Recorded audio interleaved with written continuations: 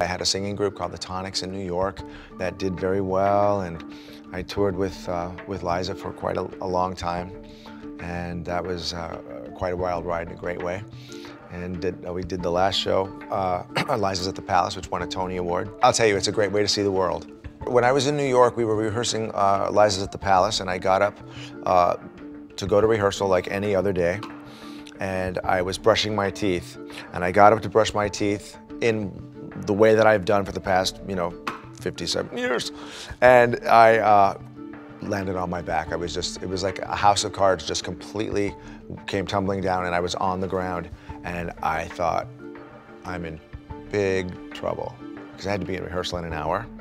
And uh, I thought it's gonna take me an hour just to figure out how I'm gonna get out of my apartment to get down to the street because it was that uh, immobilizing. I, I really couldn't move. I managed it pretty well for maybe eight, eight months, I guess. And I thought, I don't want to be that guy who's really like the Tin Man, like with nuts and bolts and all that in, in, in his back.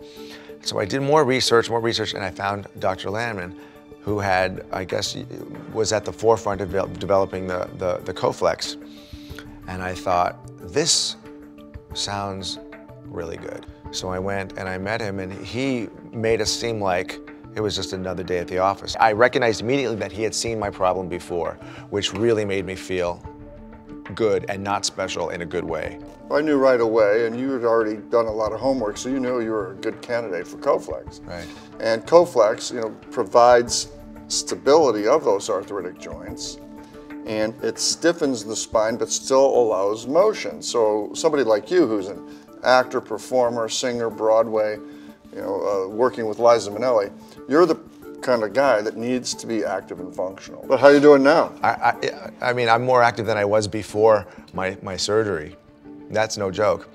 It, it's the truth. I, I, I, probably should not say this because I don't want to give people the wrong idea, but uh, five weeks to the day after my surgery, I, I won my, my, my club championships, my, my, my tennis, tennis tournament at my, at my club.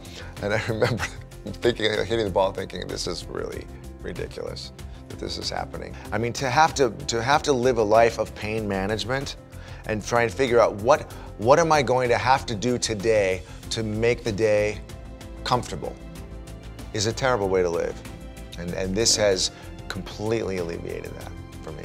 I've got a trainer who's a paramedic fireman so, and he, and he, and he does on me the things that they do. Have you ever gone to fireman school, what those guys do?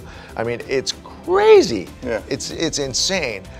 I'm thinking, okay, my back is great, but my heart now is good. Who do you know? You know?